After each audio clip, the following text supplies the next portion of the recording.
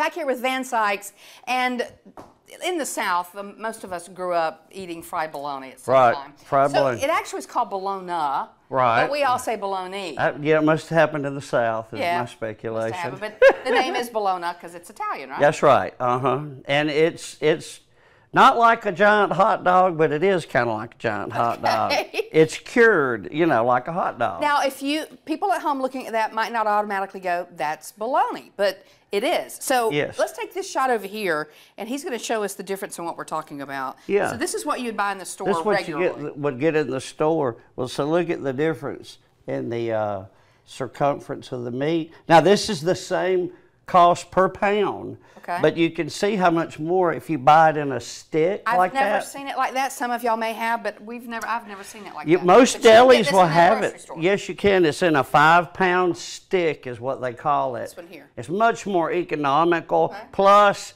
this is what the industry would call a thick slice, but a van would call, you know, that a thick slice right there. So, All right. Well, show us how to do So it. So here- you buy this in the store. buy it in the store. So let's jazz it up a little bit. so. Essentially, you, if I told you to season a hot dog, there's no way you could do it. You get the flavor when you put stuff on it. But what we're going to do to get a little flavor is we're going to score this. Normally, I wouldn't have this giant knife, but I left my That is a large scoring knife. knife. Okay. Uh, but you see, I'm cutting diamonds. I'm going out. I'm going in. I'm going So scoring out. means what? You're allowing. Scoring means I'm I'm piercing it the skin enough Mm-hmm. so that I can get something to go into it. Okay. Because once it's cured and sealed like a hot dog like that.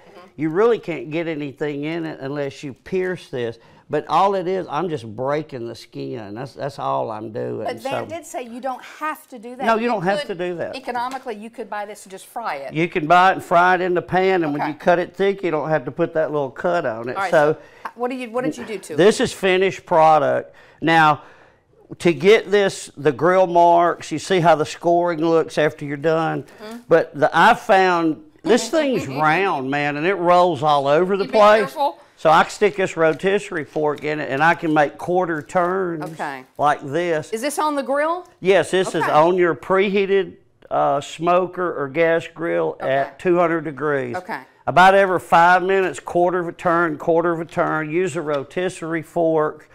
How Um, long does that take? How long are you doing that? I did this one in 20 minutes, about five minute turns So at a low temperature. so you got to spend some time with it. You got to Yeah, invest. or you'll have Yeah. that like burnt hot dog look. We don't know, want which, that, we don't which ain't bad. All you know, so but- this comes out looking like that once you've done that for 20 minutes. Right, right. And so now what you can do, folks, is at home you make a sandwich, wrap it back up.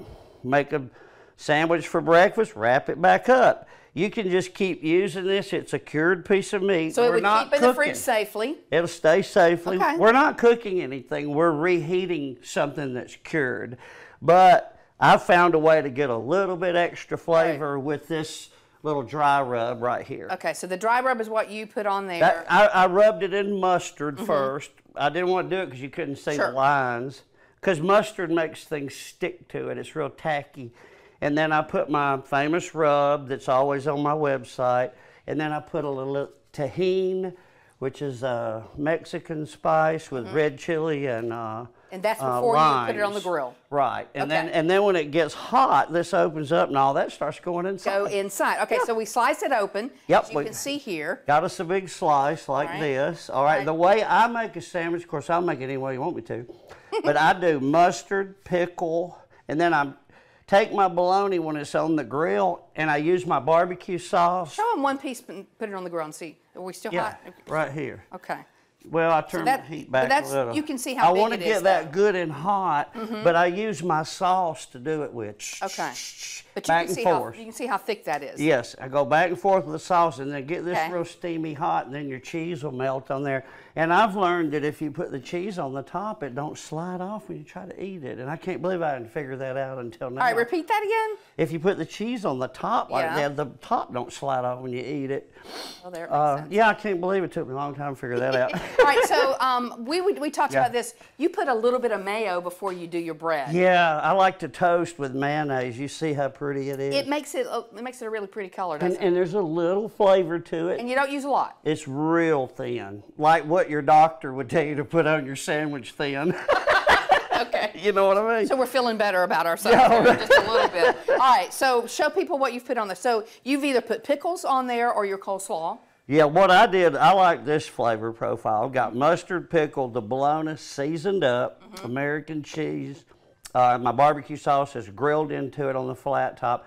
And then I put a little scoop of coleslaw on there. Um, just about one ounce Yeah. of coleslaw. And that little sweetness of that slaw works with the pickle and The mustard. kind of got it all going together there. You All know? right, so as we wrap up over here, so Kelly, I don't know how much time we have left, but um, you can take a look that it works great to cut it into these.